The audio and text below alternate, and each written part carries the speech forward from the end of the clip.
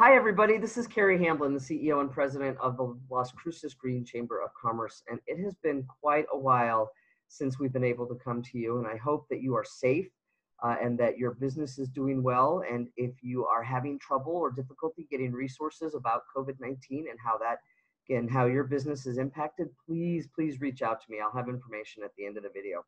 But what we normally would do uh, on a weekly basis before we stopped uh, having uh, office hours is that I would have a weekly video and, and have folks come in and share with you what's been happening with the Las Cruces Green Chamber of Commerce. And so just to give you a little bit of uh, background on what's been happening, I've been working from home and answering emails and answering phone calls and sitting in on uh, emergency meetings about COVID and uh, providing insight and um, feedback for our city council regarding what we can do as a community for uh, COVID and to flatten the curve. And so um, I am in the office, uh, but by appointment only. And so today I'm here in my house, and um, I since so this is something new. Like all of you are trying social media, right? So today I have Peter Ibarbo, who is from the South Central Solid Waste Authority. He is fairly new in his position as the education and outreach coordinator.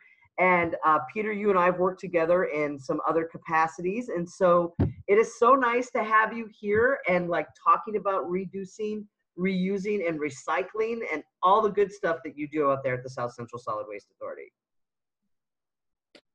Well, thank you, Carrie. Absolutely. It's an honor to be here with you. And uh, it is a new day. You know, it's a new time and a new era here in not only New Mexico, but throughout the nation and the world. So uh, it looks like we'll be doing a lot of interacting via this social media platforms and video messaging and Zooms and calls. So uh, I appreciate everyone who's tuned in to to learn about all the great things that the Green Chamber of Commerce has been doing and continues to do here for our community, but also an opportunity uh, for me to share a little bit of what we're doing here at South Central Solid Waste Authority. So thank you again, Carrie. Absolutely, absolutely. So you know we've been working with South Central Solid Waste Authority for a long time um, right. We and and you you and I will have another conversation as we get a little bit closer toward the end of the year about the Sustainable Business Recognition Program. But today it's really just about introducing you and and sharing with people what you do because you know during the the shutdown when we had stay at home orders, um, there was a time where uh, the recycling station had to be closed down for safety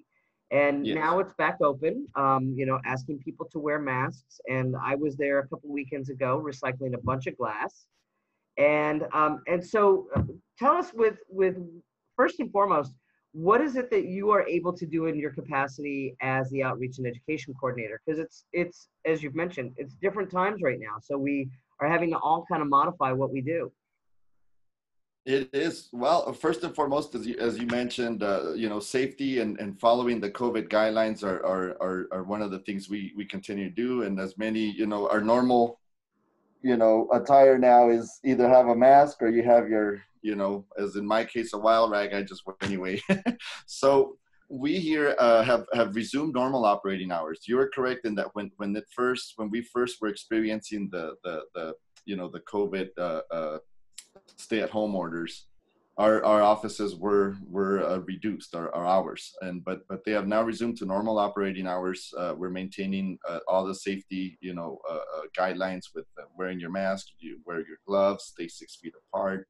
But but we are now processing you know as as regular solid waste and all the recyclables for for Doña Ana County and the municipalities within the county. So the the challenge here now is that you know uh, as as I've been hired to do education and outreach, one of my passions is like yours, Carrie, is being out in the community, talking to people, shaking hands, and and visiting with with different you know neighborhoods and community centers and uh, our friends from from from all the municipalities within our region.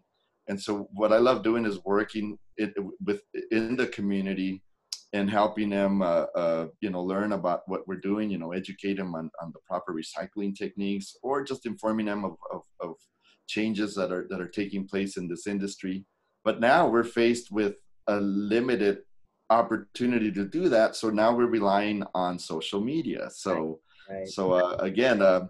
And and, and it's still kind of a trial run because it, it might actually turn out to be a little more effective as people are more engaged and and and having and, and focusing on the messaging. So it's interesting to see how this is gonna how, how it's gonna play out. but uh, but but it is a challenge. So what we're doing is we're we're continuing to put a, a media placement and and and our local newspapers. Uh, you know, we have our, our, website up and running that has all the information, so you can you can log on uh, scswa.net to to look at our operating hours, look at you know uh, anything you need to know about about what you can recycle, uh, where you can drop stuff off. So so we're having to change a little of how we communicate, but but we're still going to continue reaching as many folks as we can. Yeah, and we might find that it becomes the new norm, and so you know there's a lot of apprehension and uncertainty, and we we recognize that, and uh, are also experiencing that for many of you who might be watching this video today.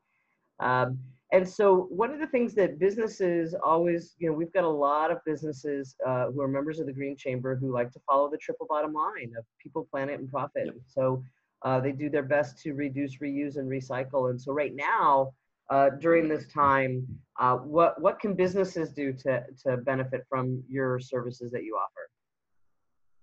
Well, uh, uh, actually, a lot of businesses have had had like like like most of folks had stopped doing a lot of the of the recycling but now they're starting to pick that back up so we're seeing we're seeing a lot of our customers uh, reactivating their their their pickup you know frequency again their routes again and uh, and and actually we're starting to see an increase in recyclables uh, because there's a lot of people home now and a lot of folks uh, including you know in in my household are ordering Hello Fresh meals and how you know we're we're ordering all kinds of stuff from Amazon and from other sources or what have you.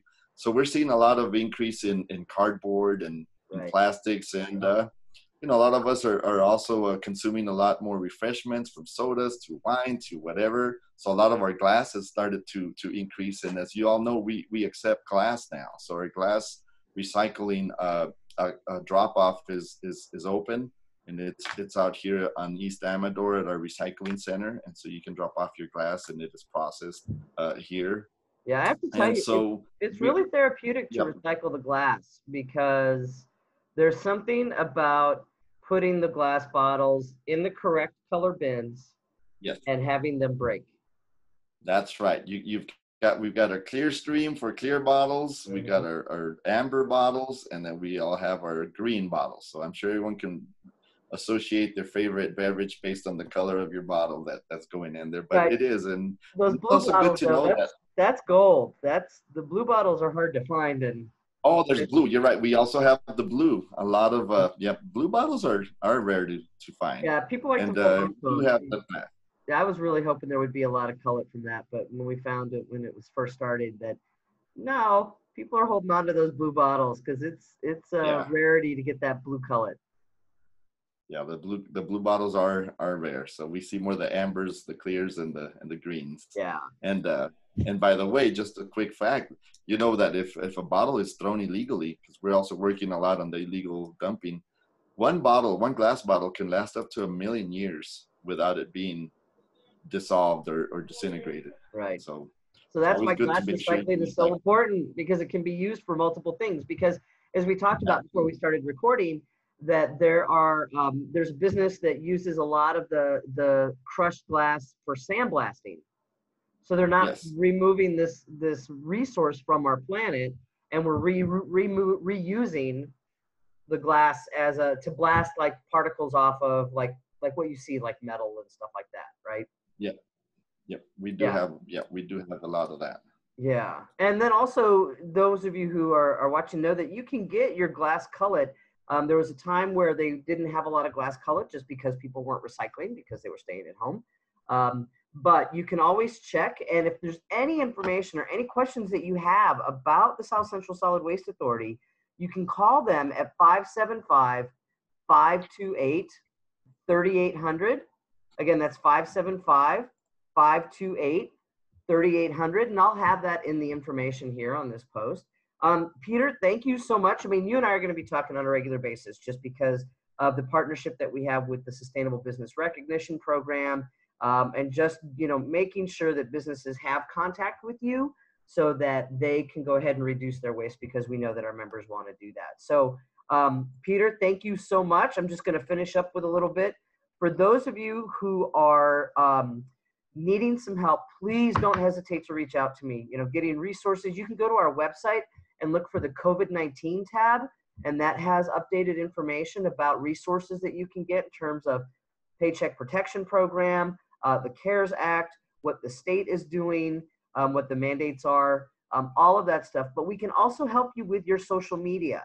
And so I can't help you unless you reach out to me. So please contact me at carrie at locallascruces.com or you can call me at 575 323 1575. And that information will be posted in this video as well. As always, we are grateful for your support of the Green Chamber. We are grateful for what you do in the community. Please wear a mask, wash your hands, stay at home if you can. And if you can't, we thank you so much for working. And so have a great day, everybody. Peter, thank you so much. Uh, and we will um, Thank you. We'll, we'll talk with you again. Absolutely. Well, appreciate the time. And if I could just